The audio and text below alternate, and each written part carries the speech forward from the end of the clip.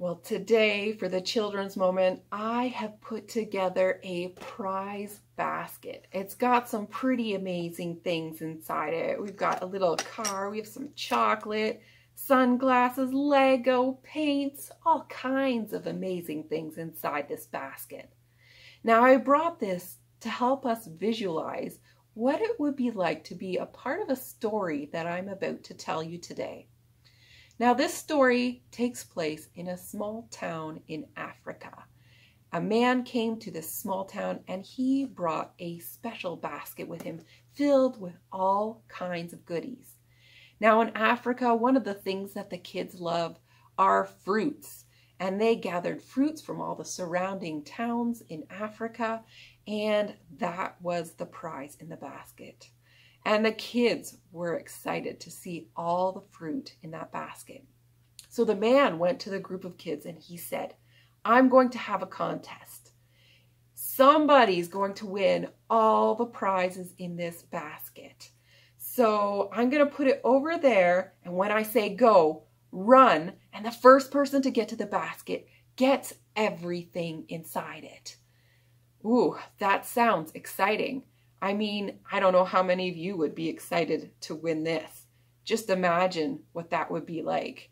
You'd be getting ready at the starting line, ready to win everything in that basket.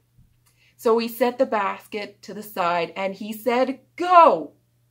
And nobody started running toward the basket. But what they did was they all reached out to each other's hands and they walked up together toward the basket.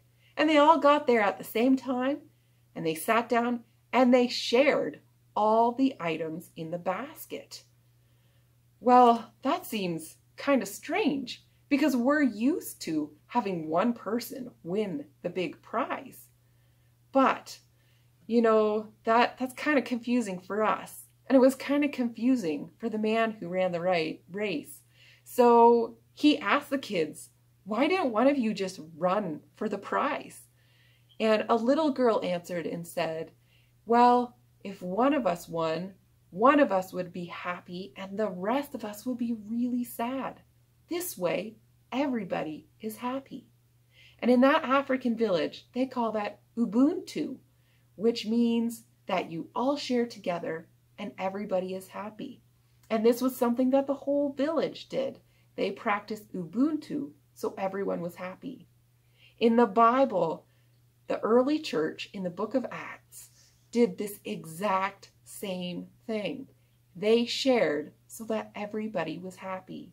In Acts chapter 4, verse 32, it says, All the believers were one in heart and mind. No one claimed that any of their possessions was their own, but they shared everything they had. They shared their food, they made sure everyone had a place to stay, people were warm, and everyone took care of each other. Now, this was a concept that was very important in the early church, and it is something we should continue to do as well. We want to take care of each other, make sure that someone doesn't have too much or that someone doesn't have too little. So I want to encourage you to think about Ubuntu and what are ways that you can be loving and caring and sharing so that everybody is happy.